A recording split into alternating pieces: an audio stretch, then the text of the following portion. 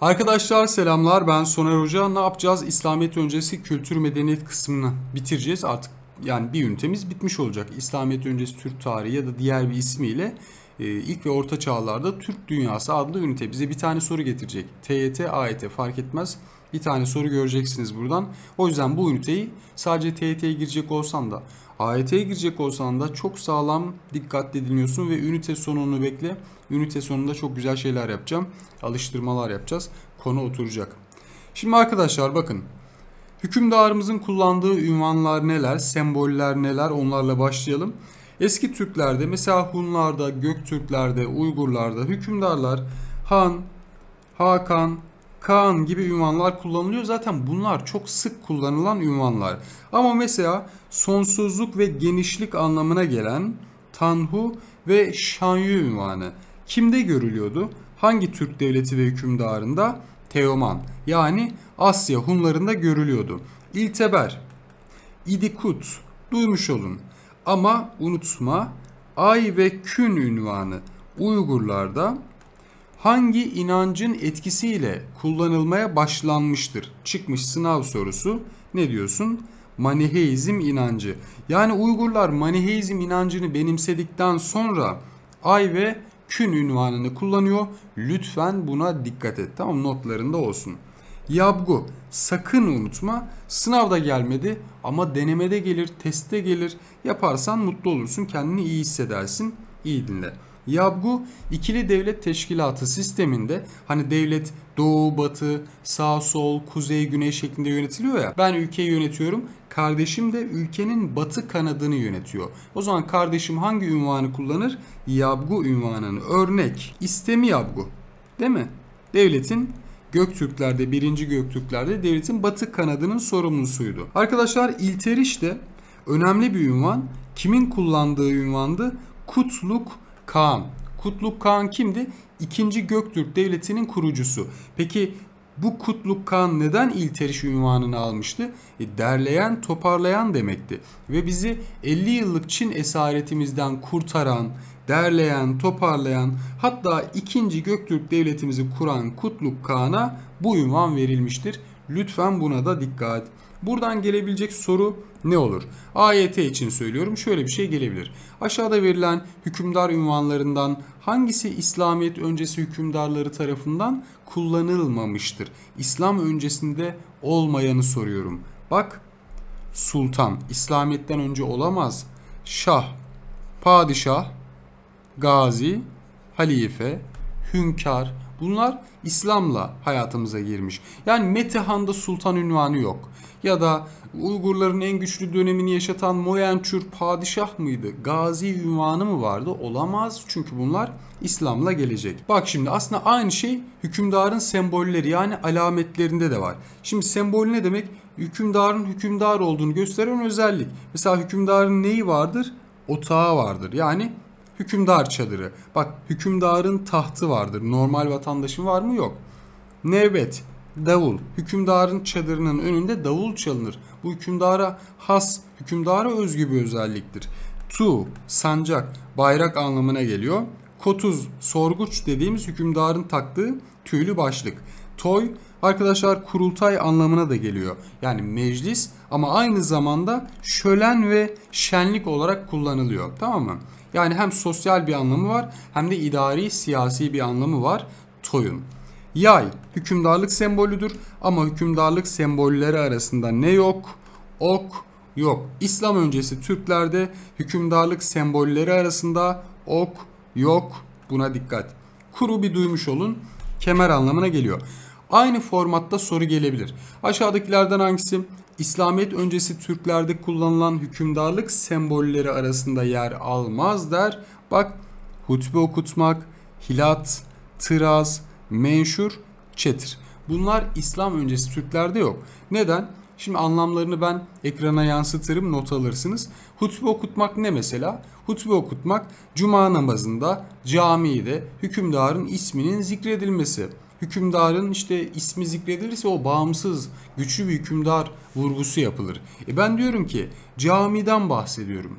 E İslam'la gelen bir şey Yani İslamiyet öncesi Türklerde hutbe okutmak olabilir mi? Olamaz o zaman. Ya da hilat, halife tarafından hükümdarımıza gönderilen hediyelere hilat deniliyor. Ya da başka bir anlamı hilat ne demek? Ee, hükümdara gönderilen hükümdarın giydiği elbise, elbise olarak da geçiyor.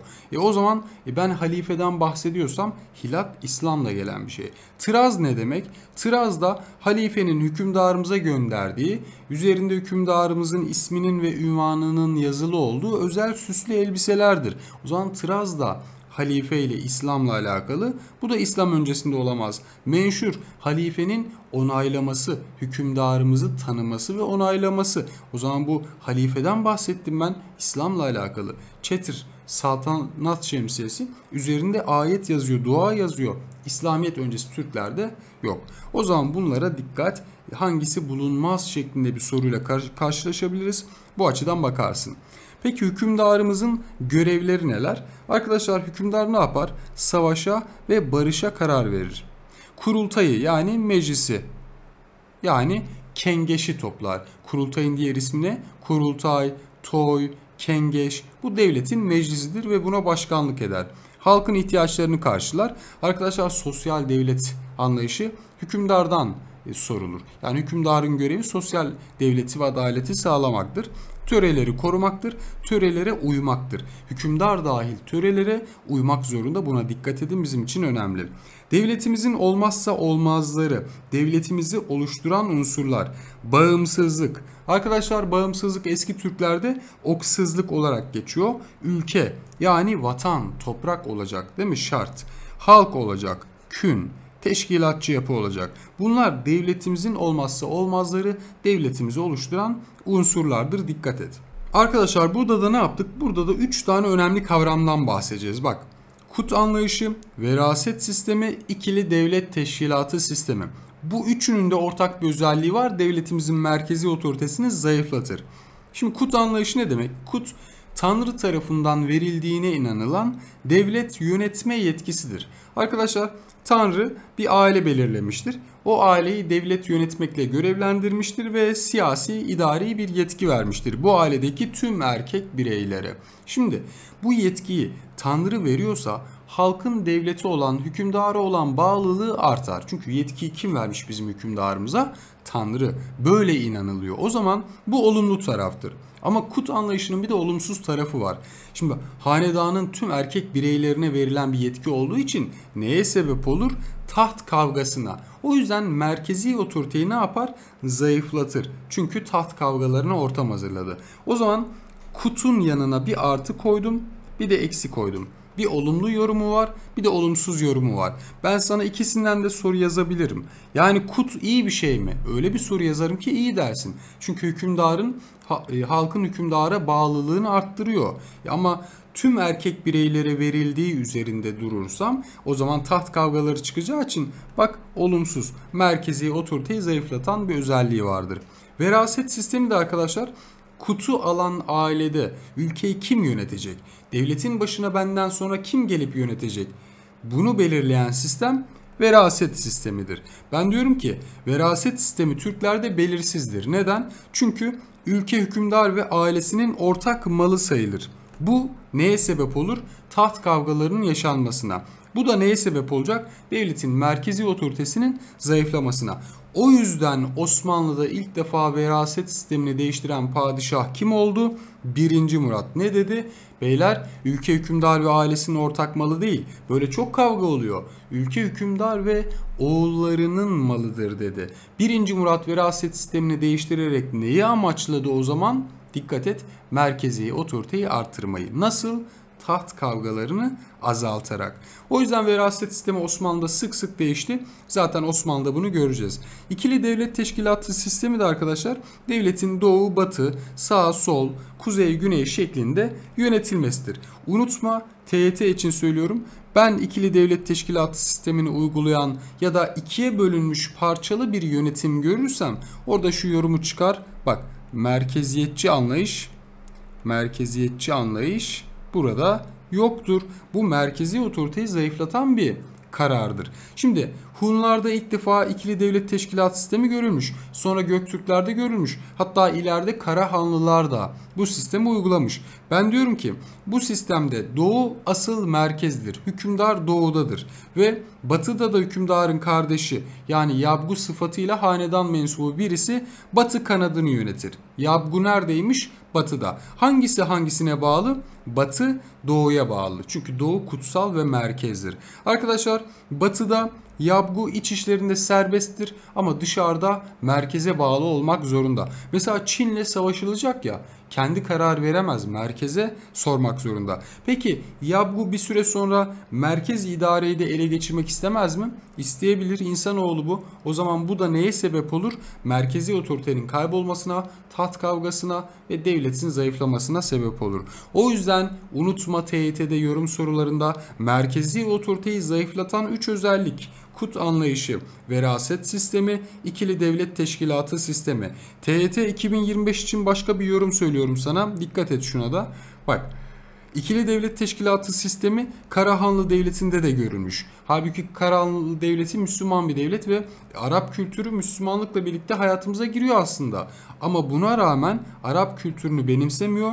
Hunlarda gördüğü bu sistemi Karahanlılar devam ettiriyor. O zaman bu Karahanlıların hangi özelliğini gösterir? Ulusçu. Çünkü Türklere ait bir özelliği ne yapıyor? Çok uzun bir süre sonra kurulmasına rağmen kullanmaya devam ediyor. Bu onların milli ya da ulusçu olduğunu gösterir. Buna da dikkat edersin. Başka bir soru kalıbında arkadaşlar AYT için söylüyorum. Bak hükümdara Tanrı tarafından verilen bir e, yetki sadece kut anlayışı değildir. Bak kut, küç ve ülüş. Bu üçü de hükümdara Tanrı tarafından verildiğine inanılan yetkilerdir. Kut siyasi ve idari bir yetkidir.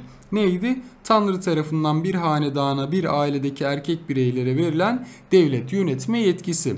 Ülüş, hükümdara Tanrı tarafından verildiğine inanılan ekonomik güç. Küçse arkadaşlar Tanrı tarafından hükümdara verildiğine inanılan askeri, fiziki yetenek, güç anlamında kullanılıyor. Buna dikkat edersiniz. Devam ettim. Arkadaşlar burada da çok önemli bir şeyden bahsedeceğiz. Devletimizin meclisinden. İslamiyet öncesi Türklerde devlet işlerinin görüşüldüğü meclise biz ne diyoruz? Kurultay. Peki Büyük Selçuklu'da ne diyoruz? Divanı Saltanat. Osmanlı'da buna ne diyoruz? Divanı Hümayun. O zaman kurultay Türk İslam devletlerinde Divanı Saltanat, Osmanlı'da Divanı Hümayun olarak geçiyor. Peki kurultayın başka isimleri var mı? Kurultay, toy, kengeş ne demekmiş? Meclis demekmiş. Arkadaşlar dikkat edin kurultay hükümdarın seçiminde, belirlenmesinde hatta törelere uymazsa görevden alınmasında bile etkili olabilir. O yüzden kurultay yeri gelirse duruma göre karar organı, duruma göre sadece bir danışma meclisi olabilir. Nasıl yani? Mesela bir karar alınacak hükümdar sordu. Sizce bu konuda ne yapalım? Kurultay dedi ki hükümdarım sultanım sultanım diyemezler bu dönemde. Kaan'ım böyle yapalım. Şimdi hükümdar da diyor ki hayır diyor öyle olmaz. Böyle olacak. Şimdi son söz kimde? Hükümdarda. O zaman sadece bir danışma meclisidir. Ama hükümdarın tahttan indirilmesinden bahsediyorsa kurultay bunu yaptı diyorsa o zaman orada karar organı özelliğini gösterir. Yani soruya göre danışma meclisi mi karar organı mı onu soru belirler aklınızda olsun. Aynı kut gibi. Kut iyi bir şey mi? Ya iyi tarafı da var. Soru yazılırsa iyidir. Soru yazılırsa kötüdür. Olumlu olumsuz. iki tarz soruyla da karşılaşabilirsin. Arkadaşlar hükümdarın Kaan'ın olmadığı zamanlarda kurultayı aygucu yani başbakan toplar. Bak burada çeldirici olarak sana hatunu kullanabilir. Sanki Kaan yoksa kurultayı kim toplar? Hatun şıklarda olur. Hayır. Kim toplarmış? Aygucu yani vezir, başbakan toplar. Arkadaşlar kurultayda oturma sırasına orun, kurultaya katılan üyelere ise toygun adı verilir buna dikkat edin. Kurultayda herkesin belirli bir oturma yeri vardır. Oraya orun denilir. Kurultaya katılan üyelere ise toygun denilir bu önemli. Şimdi kurultaydaki toygunlar, kurultay üyeleri kimler? Kaan. Zaten kurultay Kaan başkanlığında toplanır. Hatun yani Katun hükümdarın eşi. Hatun ya da katun. Hükümet görevlileri, hanedan mensupları, boy beyleri kurultayın üyeleridir arkadaşlar. Şimdi arkadaşlar burada da ne yapalım? Burada da İslamiyet öncesi Türklerde idari anlamda kullanılan önemli kavramlara bakalım. Bu kavramları bilmek zorundasınız. Özellikle AYT'ye gireceksiniz. Mecbursunuz. İyi dinliyorsunuz. Bak Tigin hükümdar çocuklarına verilen isimdir. Aslında Şad da hükümdarın çocuğudur ama Şad sancakta görev almıştır. İdari olarak, idareci olarak belirlenmiştir. O yüzden Şad ünvanı kullanılır. Bu Tiginlerin eğitmenlerine, hocalarına inal, inanç ya da ataman denilir. İslamiyet öncesi Türklerde hükümdar çocuklarının eğitmenlerine ataman, Selçuklu'da hükümdar çocuklarının eğitmenlerine atabey, Osmanlı'da şehzadelerin eğitmenlerine lala adı verilir. Bak demek ki isimler değişiyor. Aslında yapılan iş aynı ama isimler değişiyor. İslam öncesi Türklerde hükümdar çocuklarına tegin, bunların eğitmen, eğitmenlerine ataman dendi.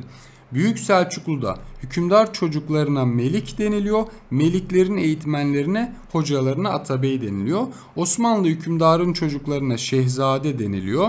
Şehzade eğitmenlerine lala adı veriliyor. Buna dikkat. Tutuk arkadaşlar askeri validir. Büyük Selçuklu'da Türk İslam devletlerinde bu şıhne olarak geçiyor. Ayıkı hükümettir. ÖSYM bunu daha önce sordum. Arkadaşlar aygucu vezir başbakan anlamında kullanılıyor. Buyruk bakan demek. Ağılığı hazineden sorumlu görevli demek. Bitikçi yazıcı demek. Bak kalemi bitmesin. Bitikçi yazıcı anlamında. Tarkan ordu komutanı, Tudun agıcı vergi memuru olarak geçiyor. Eski Türklerde halkın kaldıkları çadırlara yurt ya da keregü adı verilir. Aa bak bir de otağı vardı. Otağı neydi? Hükümdar çadırı ama halk çadırlarına yurt ya da keregü deniliyormuş. Buna dikkat. Burada da arkadaşlar İslamiyet öncesi Türklerde hukuk düzeninden bahsediyorum. Bak şimdi törelerimiz bizim olmazsa olmazımız. Eski Türk devletlerinde geleneksel hukuk anlayışı töre üzerine kuruludur. Töreler yazısız yani sözlü hukuk kurallarıdır. Arkadaşlar törelerin ortaya çıkmasında hükümdarımızın emirleri, kurultayın verdiği kararlar, gelenekler etkili olmuştur. Yani töreler bu şekilde ortaya çıkıyor. Hatta şöyle söyleyeyim mi ben sana? Bak sorularda karşına gelirse testlerde hükümdarın emirlerine, Kaan'ın emirlerine eski Türkler ne diyormuş biliyor musunuz? Yarlığı. Peki Osmanlı'da hükümdarın emirlerine ne adı veriliyor? Bak aynı şey aslında. Ferman. Demek ki Osmanlı'da ferman, İslam öncesi Türklerde yarlığı olarak ifade edilmiş. Arkadaşlar töreler yazısız hukuk kuralları ya sözlü. Bunları yazılı hale getiren ilk Türk devletimiz neden Uygur devleti? Çünkü yerleşik yaşama geçen ilk Türk devleti Uygurlar. Demek ki yerleşik kültürde dikkat edin yazısız hukuk kuralları değil de yazılı hukuk kuralları görülür. Dikkat Türklerde töreleri yazılı hale getiren ilk devlet ya da yazılı hukuk kurallarını ortaya koyan ilk devlet hangisidir derse cevap Uygurlar olacak. Önemli. Arkadaşlar töreler zamanla güncellenebilir, değişebilir ama törelerin değişmez hükümleri vardır. Kim olursan ol, ne yaparsan yap şunları değiştiremezsin, seni indirirler. Bak iyilik, uzluk, insanlık, kişilik, eşitlik, yani tüzlük, könilik, adalet bunlardan taviz veremezsin. Bunları değiştiremezsin. Aynı anayasamızın değişmez maddeleri gibi törelerimizin de değişmez maddeleri bunlardır. Mesela sen bir hükümdarsın ve geldin işte sosyal sınıflaşmayı savundun. Yani sosyal bir sınıflaşma ortamı istiyorsun. Buna izin verilmez çünkü törelerde ne vardır? Eşitlik anlayışı vardır unutma. Bunun dışında arkadaşlar tüz kavramı hükümdarla halk arasındaki karşılıklı sorumlulukların belirtildiği yazısız sözleşmedir. Yani bir hükümdarı baba olarak düşün tamam mı? E, halkı da evlat olarak düşün. İkisi de birbirine karşı sorumludur. Evlat babaya saygı duymak, hürmet etmek zorunda. Baba onun ihtiyaçlarını karşılamak zorunda değil mi devlet? E o zaman bu karşılıklı sorumlulukların belirtildiği kurallar tüz olarak geçiyor. Yargu mahkeme, yargansa arkadaşlar yargıç, hakim olarak geçiyor. Geldik askeri yapıya. Arkadaşlar şimdi İslamiyet öncesi Türklerde askeri yapı gerçekten önemli. Çünkü biz göçebe kültürde olduğumuz için zaten askerlikte böyle dünyaya nam salmışız. Bak yelme ne demek? Yelme eski Türklerde öncü keşif birliği demek. Önemli. Peki Osmanlı'da bunun karşılığı ne olacak? Akıncı. Bu da önemli. Akıncı film var ya Cüneyt Arkın'ın filmleri falan. Atlı, önde gider, düşmana vurup kaçar. Eski Türklerde de böyleymiş. Çinlerle savaşacağımız zaman kalabalık olduğu için savaş alanını Türkler belirler. Kaçabilecekleri zaman direkt kaçarlar. Türkler yenecekleri zaman, buna inandıkları ve gördükleri zaman savaşırlar. Yoksa Çin'in kalabalık nüfusundan mümkün değil onları yenmen. O yüzden vurup kaçarsın. Avantajını yani atını kullanırsın. Börk, Tolga ne demek? Savaş başlığı demek. Sü, sübaşı, ordu komutanı ya da asker demek. Arkadaşlar Milli Eğitim Kaynağı geçmiş eski kitabı diyor ki subaşı diyor genel günümüzün genel kurmay başkanının karşılığı diyor. Ne kadar üst düzey bir anlam yüklemiş. O yüzden sadece asker değil ordu komutanı falan da diyebilir yani. Türk'ün kanadı olmazsa olmazımız at. ÖSYM sorusu. Türk'ün kanadı olarak bilinen tanımlanan hayvan attır. Şıklarda kurt olur dikkat düşme. Tümen 10 bin kişilik askeri birliktir. Böri Göktürklerde muhafız birliği. Böri diye bir film vardı belki hatırlarsınız. Arkadaşlar Türklerde ordu millet anlayışı var.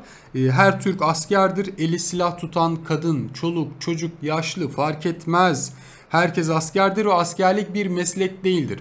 Yani ben büyüdüğümde ne olsam asker olsam öyle bir şey yok. Herkes zaten askerdir. Her Türk asker doğar.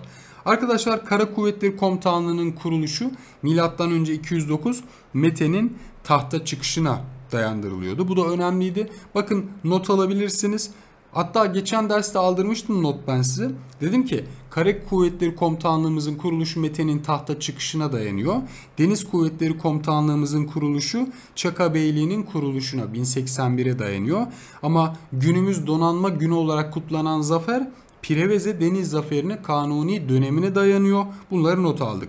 Turan taktiği de Türklerin geleneksel savaş taktiği. Arkadaşlar düşmanı görürsün ki düşman nedir? Her zaman olduğu gibi kalabalıktır. Çin nüfusu sonuçta. Türkler atlı e, atı iyi kullanır. Atlı bir ordudur. Hafif ve manevra kabiliyeti yüksektir Türklerin. Türkler saldırıya geçer. Çinliler de bizi küçük görür çünkü biz onlardan azız. Sonra Türkler korkmuş ve kaçıyor gibi yapar. Geri çekilmeye başlar. Geri çekildikçe şu merkez kısmı içe doğru geçer ve şu şekli alır. Merkezden geri çekilince şöyle hilal şekli alınır. Düşman şu kısma girdikten sonra da buralardan bu hilal kapatılır ve kurt kapanına dönüşür. Yani düşmanı ortaya alırsın sonra onu yok edersin. Biz buna ne deriz? Turan taktiği deriz. Burada bir sahte ricat var o kilit nokta. Sahte ricat geri çekilme. Kaçıyormuş gibi yapma. Onlar seni takip edince de zaten pusuya düşüyor. Arkadaşlar Turan taktiği bizim Malazgirt Savaşı'nda kullandığımız bir taktik. E, Mohaç Meydan Muharebesi'nde Macarları yok ettiğimiz taktik. Ya da Kanuni döneminde Barbaros'un bir zaferi var. Preveze Deniz Zaferi. Orada bile denizde kullandığımız bir taktiktir. Önemli.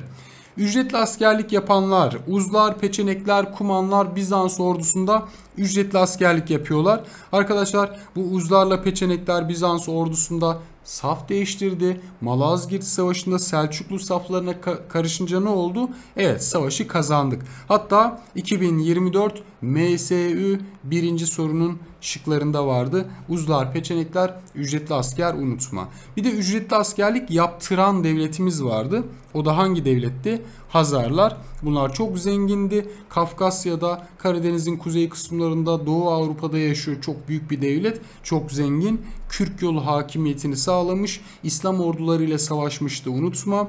Ve Hazarlar ücretli askerlere yer vermişler. Arkadaşlar ekonomiden bahsedelim. İthal edilen ve ihraç edilen ürünlerimiz.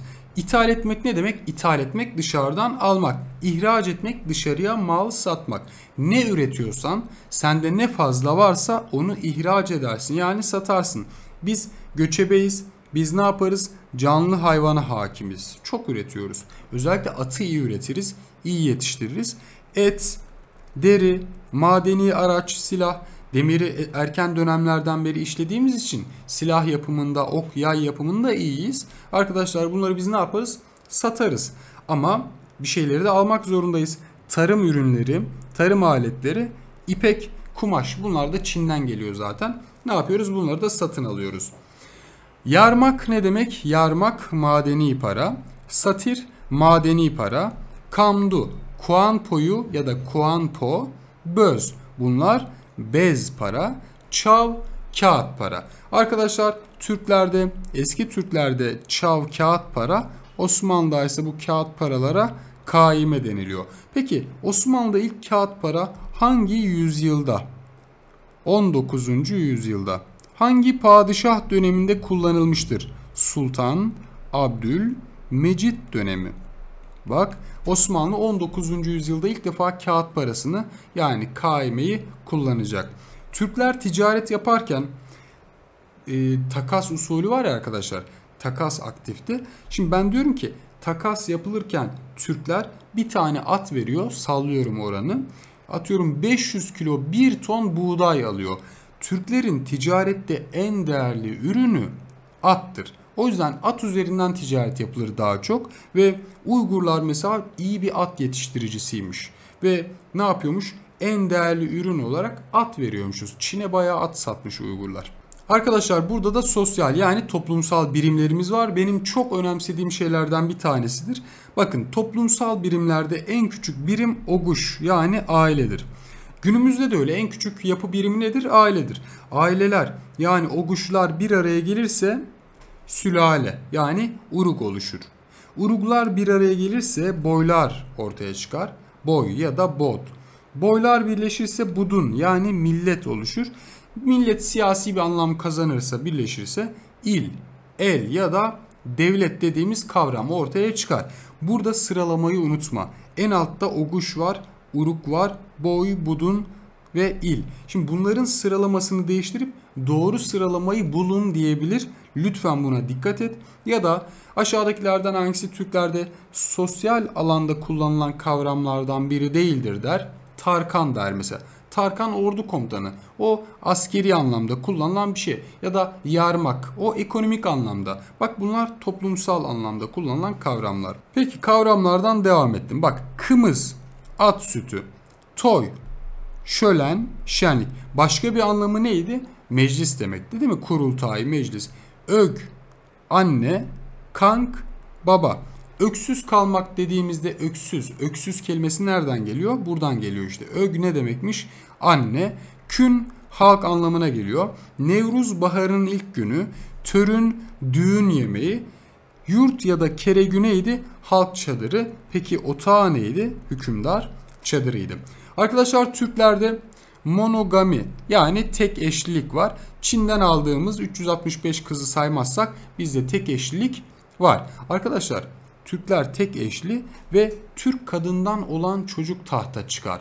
Böyle bir gelenek vardır. O yüzden Teoman döneminde bu bozulmak istendiği için Mete Teoman'ı öldürüyor. Mete Çinli prensesten gelen çocuk tahta çıkmasın. Taht kendinin hakkı diye ne yapmış? Babasını öldürmüş. Ataerkil bir yapı, yapı var. Erkek egemen bir toplum ama kadının değeri yüksekti. Kadına günümüzdeki gibi değil, kadına gerçekten değer veriyoruz. Hatta kadınlar liderlik yapabiliyor. Kadınlar kurultayda ne yapabiliyor? Yer alabiliyor. Kadınlar gelen elçilerle görüşme yapabiliyor. Kadınların kendi ordusu var. Hatunların kendi ordusu ve sarayı yani bulunduğu bir mekanı var. Bunu da map kaynağı belirtmişti. İlginç. Sosyal sınıflaşma var mı Türklerde? Yok. Niye yok? Çünkü Türkler bir göçebe yaşıyor. Toprak mülkiyeti gelişmiyor. Yani burası benim, bu arazi benim anlayışı bizde oluşmuyor. Bir de arkadaşlar hukuk düzenimiz yani törelerimiz buna müsaade etmiyor. Törelerde değişmez hükümlerde ne vardı? Eşitlik anlayışı vardı.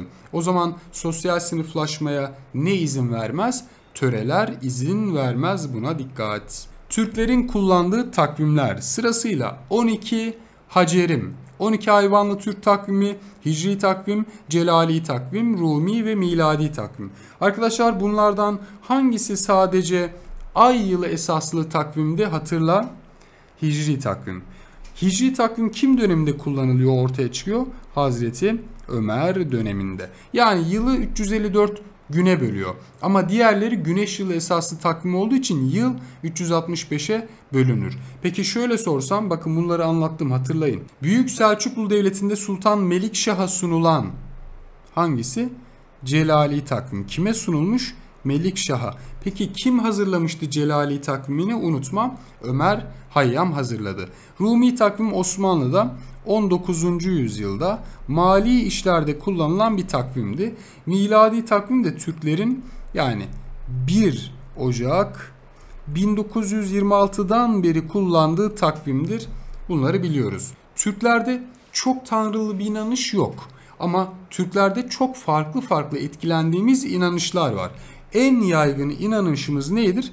Orta Asya'da gök tanrı inancı. Yani 5 kişiden 4'üne sor gök tanrı inancındadır ve gök tanrı inancı tek tanrılı bir inanıştır. Ee, onda da böyle cennet cehennem kavramları vardır. Bir tane tanrı yaratıcı vardır ve temizlik çok önemsenir gök tanrı inancında. O yüzden İslamiyetle benzer noktaları çoktur. Şamanizm büyü ve fal üzerine kurulu bir inanıştır. Maniheizm özellikle Uygurlarla haşır neşir olan bir inanıştır. Maniheizm inancını benimsediği için Uygur hükümdarları hangi ünvanları kullanıyordu? Ay ve Kün ünvanı. Budizm hem Uygurlarda hem Göktürklerde görülen bir inanıştır. Hristiyanlık zaten Avrupa'ya göç edenler Hristiyan olmuşlar. Arkadaşlar Hristiyanlığı benimseyen ilk Türk devleti hangisidir diye sorsam ne dersin? Hristiyanlığı benimseyen ilk Türk devleti Avar devleti. Peki Museviliği benimseyen ilk Türk devleti dersem o zaman Hazarlar dersin. Peki kavramlara bakalım. Bakın dini alanda kullanılan kavramlar yu, cenaze töreni, yu aşı, cenaze yemeği. Arkadaşlar dikkat edin. Cenaze töreni yani yu öteki tarafa ahirete inanıldığına kanıt mıdır değildir. Buna dikkat edin. ÖSYM sorusu oldu. Hatta önceden bunu alıyorlardı. Testler soru bankaları alıyordu ama bu bir sınav sorusu oldu. Ahiret inancının kanıtları arasında hangisi bulunmaz dediler. Yu cenaze töreni ahirete öteki tarafa inancı göstermez. Kurgan arkadaşlar yanına A yazıyorum. Çünkü ahiret inancının kanıtıdır. Çünkü kurgan mezardır, oda biçiminde yapılır ve ölüler eşyalarıyla birlikte gömülürler. O zaman kurgan ahiret inancına kanıttır. Çünkü ölü öteki tarafa hazırlanıyor. Eşyalarıyla birlikte gömülüyor. Bal bal ölünün başına dikilen bak bir metre boyunda mezar heykelleridir. Bunlar dirilecek ve öteki tarafta o ölüye hizmet edecekler. Demek ki öteki tarafa inancı gösteriyor balbala ahiret inancının kanıtı olarak A yazdım. Kam, baksı, şaman, din adam anlamına geliyor. Uçma cennet demek, tamu, cehennem demek bunlara da A koyalım ahiret inancının kanıtları. Ya da şey dese mumyacılık faaliyetleri dese evet o da ahiret inancının kanıtı olur. Çünkü mumyalama niye yapılır? Öteki tarafa hazırlıktır ceset bozulmasın diye. Burada da arkadaşlar ne var? Destanlarımız var. Sözlü edebi ürünlerimiz. Hangi destan hangi millete hangi devlete ait ona bakacağız. Şimdi bakın Alpertunga ve şu destanı İskitlere ait. İskitler bir devlet değildi. Biliyorsunuz topluluk Türk tarihinde bilinen ilk topluluk olarak geçiyor. Oğuz Kağan destanı Asya Hunlarına ait. Ergenekon Bozkurt destanı Göktürkler. Türeyiş ve Göç destanı Uygurlar. Manas destanı dünyanın en uzun destanı Kırgızlara ait. Arkadaşlar hala yazılmakta olduğu için canlı destan özelliği gösteriyor. Manas Kırgızlar sakın unutma. Dede Korkut hikayeleri Oğuzlara ait. Arkadaşlar Dede Korkut hikayelerini yazılı hale getiren kimdir diye sorsam o zaman ileride göreceğiz. Ak koyunlular diyeceksin bunları not alıyorsun. Almanların bir destanı var. Nibelungen destanı. Bak bize ait değil. Milli bir destandan bahsetmiyorum. Nibelungen destanı Alman destanı ve bu Nibelungen destanında Etzel olarak bahsedilen hükümdarımız kimdi? Atilla'ydı buna dikkat. Igor destanı kime ait? Ruslara ait. Ramayana destanı Hintlilere ait. Peki soru. Bunların hangilerinde hangilerinde Kumanlardan yani Kıpçaklardan bahsediliyordu. Hatırla. Bak Dede Korkut hikayeleri Oğuzlarla Kıpçakların yani Kumanların mücadelesini anlatıyordu. Igor destanı da Kıpçaklarla Rusların mücadelesini anlatıyordu. Bunlara dikkat. Burada da yazıtlarımız var. Hemen bakalım. Bak. Orhun kitabeleri ya da Orhun anıtları. Orhun yazıtları kime ait? İkinci Göktürklere ait. Kutluk Kağan yazıtı 2. Göktürk Devleti'ne ait. Yenisey yazıtları Kırgızların. Unutma Yenisey yazıtları Manas Destanı Kırgızların çok önemli. Karabalgasun yazıtı, Sineuşi, Moyençur, Taryat bunlar da Uygurlara ait yazılı edebi ürünler unutmayın. Peki Orhun kitabelerinde de Kutluk Kağan yazıtında da Türk adı Türkçe olarak ifade edilmiştir. Bu bizim için önemliydi. Şimdi Orhun kitabelerine ayrıca bir değinelim çünkü ÖSYM sorusu buradan gelebilir. Arkadaşlar Orhun kitabeleri kimlerin anısına dikilmiş? Kitabe yani Kültegin, Bilge Kağan, Ton Yukuk anısına dikilmiş. Hangi devlet dönemimizin eseri? 2. Göktürk Devleti dönemi. Peki nerede bulundu? Günümüz Moğolistan topraklarında. Sosyal devlet anlayışını vurgulayan bir eserdir. Çünkü Bilge Kağan burada diyor ki ben halkım açtı onları doyurdum. Halkımın üzerine giyecek bir şey yoktu onları giydirdim. Onların ihtiyacını karşıladım diyor yani sosyal devlet vurgusu yapıyor. Siyasetname siyasi bilgiler içeriyor. Nasihatname özelliği gösteriyor. Mesela Bilge Kağan diyor ki sakın ha ötüken ormanını terk etme ölürsün. Bulunduğun bölgeyi bırakıp gitme çünkü bağımsızlığını, oksuzluğunu kaybedersin, asimile olursun diyor. Yapma diyor ve hatta şey diyor. Sakın diyor Çin'in tatlı sözüne, yumuşak ipeğine aldanmayın. E, asimile olursunuz, yok olursunuz diyor. Nasihat veriyor önemli. Bir tarafı Türkçe, Türk alfabesiyle. Bir tarafı da arkadaşlar Çin alfabesiyle yazılmış. Bu açıdan önemli. Yazarları Vezir Tonyukuk'la Yolluk Tigin'dir. Arkadaşlar sorularda bir detay ama Türk tarihinin ilk yazarı ya da tarihçisi kimdir derse Vezir Tonyukuk kabul edilir. Ama Orhun kitabelerini şimdi ilk yazmaya başlayan Vezir Tonyukuk ama asıl yazarı kimdir diye sorarsam çoğunluğunu kim yazıyor? Yolluk Tigin yazıyor. Buna dikkat. Peki Türklerin Bismarck'ı olarak da bilinen Türk tarihinin ilk tarihçisi yazarı kimdir diyor soruyorsa ne diyeceksin? Vezir Tonyukuk. Türklerin Bismarck'ı ne demek? Şuraya bir yazalım. Türklerin Bismarck'ı. Arkadaşlar Bismarck e, Prusya'yı Almanya'ya çeviren bir liderdir. Almanlar için çok önemli bir isimdir. Yani Almanların kurucusu olarak kabul edilir. O yüzden 2. Göktürk Devleti'nde Vezir Tonyukuk da Bismarck'a benzetiliyor. Aslında Tonyukuk daha önce yaşamıştır. Yani Bismarck Tonyukuk'a benzetilse daha iyi ama bu şekilde bir isimlendirilmiş. E, o zaman Türklerin Bismarck'ı olarak bilinen Vezir Tonyukuk buna dikkat. Türk adının geçtiği, Türkçe olarak geçtiği bir yazıttır Orhun kitabeleri doğru. Orhun abideleri de dersiniz, Orhun kitabeleri de dersiniz, Orhun yazıtları da dersiniz. Aynı şeydir. Bunlara dikkat. Şimdi önemli kavramlarla devam ediyorum. Bak karışık genel önemli kavramlar AYT testlerinde denemelerde karşına sürekli çıkacak. Sav eski Türklerde atasözü demek. Sagu ağıt demek. Bak sav 3 harfli ya. Sav söz, atasözü. Sagu 4 harf. Zaten bu ikisi karışıyor genelde. Sagu ağıt 4 harf. Ağıt. Ölülerin ardından yakılır. Koşuk şiir. Bedizci özellikle Uygurlarda ressam olarak geçiyor. Kült inanış demek. Arkadaşlar kült inanış ya. Kün ne demekti? Halk demekti. Dikkat. Tepük Türklerde o dönemde oynanan bir spor, futbol oyunu. Mangala Türklerde zeka oyunu. Seyirtme, koşu, gökbörü, kızbörü bunlar da atlı oyunlardır. E, Türklerin sosyal hayatında geçen kavramlar, spor hayatında geçen kavramlar.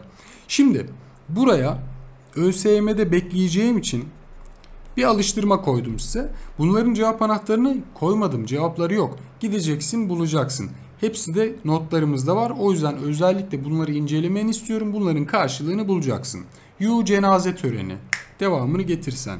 Arkadaşlar şimdi pratik bir bilgi olsun diye şöyle bir şey koydum. Ahiret inancının kanıtları nelerdir bunu anlatmıştım. Uçma, tamu yani cehennem, balbal yani mezar heykeli, kurgan yani mezar oda biçiminde yapılıyordu. Mumyacılık faaliyetleri bunlar ahirete, öteki tarafı inancı gösteriyor. Bir hatırlatma daha Müslüman Araplarla yani İslamiyet'le savaşarak İslamiyet'in yayılmasına engel olan iki devlet vardı. Hazarlar ve Türgişler. Türgişlerde hangi hükümdar İslamiyet'in yayılmasına engel oluyordu? Sulu Kağan hangi savaşla? Haristan. Kimi yenmişti? Emevileri yenmişti. Bu açıdan önemli. Onu bir hatırlatmak istedim. Devam ettim. Bir hatırlatma. Teoman, Tanhu ve Şanyu ünvanını kullanıyor. Bu Min Kağan'da İl Kağan ünvanı var. Kutluk Kağan yani 2. Göktürk Devleti'nin kurucusu İlteriş ünvanını kullanıyor. Atilla ise arkadaşlar ne yapıyordu? Avrupa Hunlarında en güçlü dönemdi. Tanrı'nın kırbacı, Almanların Nibelungen destanında Etzel olarak geçiyor. Savaş tanrısı Ares'in kılıcına sahip hükümdar olarak biliniyor ve cesur kavimlerin efendisiydi hatırladınız. Arkadaşlar burada da yorumluyorum kısmı var önemli. TYT için özellikle söylüyorum pratik bir şekilde izleyenler videoları TYT için izleyenler özellikle bu yorumluyorum kısımlarına çok dikkat etsinler. Mesela Hazarlarla ilgili gelebilecek bir soruda şunun üzerinde durulabilir. Hazarlarda arkadaşlar yaşadıkları topraklarda farklı inanışlar var. Kendileri Musevi ama bir sürü inanış var. Hatta yapılan kazılarda Hazar topraklarında bir cami, bir kilise, bir sinagog yan yana bulunuyor. Bu onların hoşgörülü olduğunu gösteriyor. Aynı şekilde bir mesele olduğunda davalara bakan görevlilere bakıyorsun. Farklı farklı inanışlardan bir ekip seçiliyor. Her inanıştan bir temsilci bir yargıç var. E, dolayısıyla bunlarda hoşgörülü, adaletli bir yönetim anlayışı var. Buna dikkat edersiniz. Bunun dışında Türklerde toyların yani şölenlerin düzenlenmesi toplumsal birlikteliği ne yapar ya da millet olma bilincini artırır önemli. Türklerin Orta Asya'dan başka bölgelere göç etmesi farklı bölgelerde birçok devletin kurulmasında, kültürel etkileşim yaşanmasında ve Türk tarihinin incelenmesini zorlaştırması açısından önemlidir. Kurgan, balbal, mumyacılık, uçma, tamu kelimelerini gördüğümde ne yorum aklıma gelecek? Ahiret inancının benimsendiği bu yorumlar önemli bizim için. Türklerde yazılı kültürün gelişememesinde ya da e, gelişmemesinde arkadaşlar göçebe yaşamın olması etkilidir. Çünkü göçebe yaşamda ne var? Göçebe yaşamda e, sürekli hareketlilik var. Dinamik bir toplum var. Şimdi düşünsenize sürekli göç edeceksin. Sürekli bir yerden bir yere birkaç ayda bir yer değiştireceksin. Çocuğunu okula yazdıramazsın. Günümüzdeki gibi düşün. Günümüze uyarla. Bugün sen çocuğunu e, tam okula yazdırıyorsun ama eşin polis ne yapıyorsun? Sürekli e, bir tayinin çıkıyor. Oradan oraya gitmek zorundasın. Eğitim hayatı çocuğun sağlıklı olmaz. Zor olur yani. E, göçebe olduğunda da sürekli yer değiştireceksen e, eğitimde, kültürde gelişemiyorsun. Ve yazılı kültür göçebelerde gelişmiyor. O yüzden yazılı kültürün geliştiği dönem aslında Uygurlar dönemi niye? Çünkü yerleşik yaşama geçen ilk Türk devleti Uygurlar. Uygurların Maneheizm inancını benimsedikten sonra bu dine ait terimlerin Türkçe karşılığını kullanmaları bunların ulusçu ya da milli olduğunu gösterir. Dikkat et. Bak manehizmi benimsiyor ama bu dinin kelimelerinin Türkçe karşılığını Uygur alfabesiyle kullanılıyor. E o zaman bu onun ulusçu olduğunu gösterir. Türklerde eli silah tutan herkes asker. Bu ordu millet anlayışının benimsendiğini gösterir. Türklerde sınıflı toplum görülmez. Çünkü Türkler dikkat et göçebe olduğu için mülkiyet anlayışı gelişmiyor. Burası benim bu arazi senin muhabbeti olmuyor. O yüzden birileri birilerini ezemiyor. Sosyal sınıflaşma oluşmuyor. Başka neden dolayı sosyal sınıflaşma oluşmuyor? Töreler yani hukuk düzenimizde eşitlik anlayışı önemseniyor bu yüzden. Şimdi güzel bir boşluk doldurma yapıyorum. Bu üniteyi hallediyorum. Bu ünitede bir daha geri dönmek yok. O şekilde anlattım. Detaylı, teferruatlı bir de burada oturtalım. Ondan sonra soru çözmeye devam edin. Soru çözerseniz daha kalıcı olur. Şimdi bakalım arkadaşlar. Boşlukları ne yazacağız? Orta Asya'da Avar Hakanlığından bağımsızlığını kazanarak Bumin Kağan öncülüğünde kurulan devlet 1. Göktürk Devleti. Hazarlar İslam ordularıyla mücadele ederek nokta nokta topraklarında İslamiyet'in yayılmasına engel olmuştur. Nerede? Kafkasya topraklarında. Kimlerle mücadele etmişti Hazarlar? Hazreti Osman'la. Kutluk isyanının ardından Çin'den bağımsızlığını kazanarak kurulan Türk devleti ikinci Göktürk devleti. Birinci Göktürkler Çin esaretine girmişti. 50 yıl boyunca Çin esaretinde kalmıştı. İlk milli istiklal ayaklanmamız Kürşat isyanıydı. Başarısız olmuştu. Şimdi Kutluk Kağan ne yaptı? Çin'den bağımsızlığımızı kazandı. İkinci Göktürk Devleti'ni kurdu. O yüzden ikinci Göktürk Devleti'nin diğer ismi de Kutluk Devleti olarak geçiyor. Birinci Göktürk Devleti İpek Yolu mücadelesinde nokta nokta ile işbirliği yaparak nokta nokta devletini yıkmıştır. Dikkat! Sasanilerle işbirliği yapıyor, Ak Hunları yıkıyor. Hatta bir süre sonra da Sasaniler güçlendiği için Bizans'la işbirliği yapıp Sasanileri yeniyorlardı. İslam öncesi Türklerde hükümet kelimesi hükümet ne demek? Ayyuka. İslamet öncesi Türklerde vezir, başbakan anlamında kullanılan kelime neydi? Bunun cevabını sen yaz.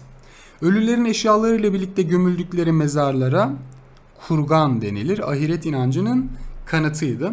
Hükümdar çadırlarına otağı, halkın kaldıkları çadırlara ise yurt ya da keregü denilir.